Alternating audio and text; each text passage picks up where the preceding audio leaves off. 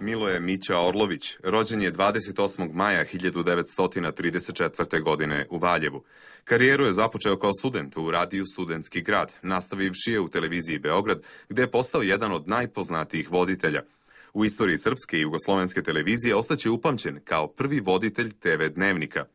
Odrastao je u Prištini i Valjevu, zajedno sa mlađim bratom Draganom, koji se kasnije takođe bavio novinarstvom i jedno vreme bio urednik dnevnog lista Politika Ekspres.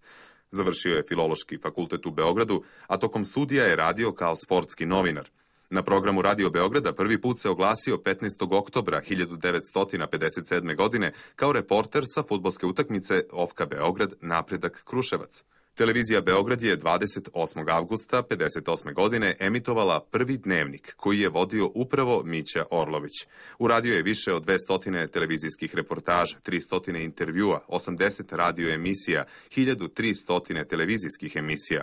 Glumio je u 17 domaćih i stranih filmova. Dobitnik je nagrade za životno delo Udruženja novinara Srbije, nagrade za životno delo RTS-a, Zlatnog Beočuga, Kulturno-prosvetne zajednice, nagrade Radio Smedereva za negovanje pravilnog govora i očuvanje lepote jezika u elektronskim medijima Branislav Mane Šakić. Imao je nacionalnu penziju od 2008. godine.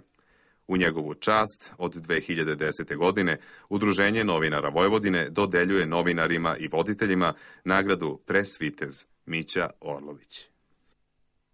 A evo šta odlasku televizijske legende Mića Orovića kaže njegova koleginica Dunja Figenvald Puletić, Lango.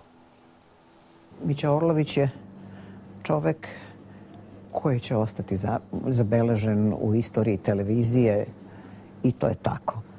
U istoriji RTS-a sasvim sigurno, u istoriji i u sećanju svih gledalaca koji su davne godine, jer on je prvi dnevnik vodio RTS-ov, uh, upoznali tog veoma zgodnog, naočitog muškarca sa savršenim glasom za taj posao koji je radio i on je jedno i drugo umeo da iskoristi.